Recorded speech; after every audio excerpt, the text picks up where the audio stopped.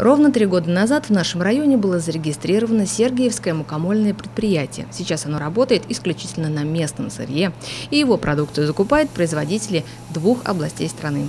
Отличием этого производства от любого другого сельскохозяйственного заключается во всесезонности. Ежедневно тут срабатывают по 11 тонн зерна. Задачи для этих специалистов есть всегда, так как во время уборочной страды зерно попросту запасается впрок в объеме 3,5 тысячи тонн. Для подработки сырья, просушки и хранения здесь имеется элеватор. Перед самой переработкой зерно завозится в 4 теплых накопительных бункера для прогрева. В первую очередь, конечно, у нас идет белизна, так вот и клейковина у нас идет, и ДК, и число падений, много показателей. Но вот эти основные параметры, на которые я обращаю внимание. Обращаю внимание при каждом выборе, то есть это каждый день я проверяю.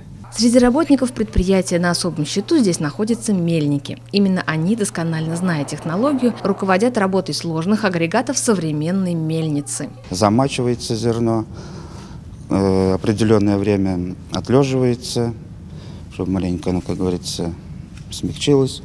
Потом подается уже, как говорится, на станки. И все, уже тут процесс пошел, все постепенно. И на выходе идет у нас уже, как говорится, нов, э, готовая продукция. Мука, мука высший сорт, первый и отруби.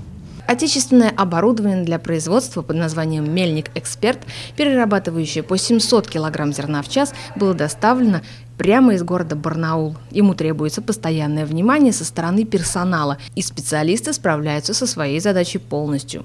Где здесь нужен человек? Вот, вот здесь вот именно два человека надо. Угу. То есть постоянно? Постоянно, да. Трясти мешки, угу. контролировать, взвешивать э, вес и прошивать, и складывать на поддоны. Все остальное она сама умеет делать? А, все остальное, да. Готовую продукцию уже выдает. А до этого просто я слежу за оборудованием, за вальцами, за зазорами, за, за процессом и за рабочими тоже. Нам сказали по секрету, что у вас творческая работа. Почему? Ну, как бы сложная в своем роде. Как бы просто так любого человека не поставишь, и как бы надо все знать, все понимать и все чувствовать заранее, когда что, что-то сломается или что-то пойдет не так. Как бы тоже нюансов много.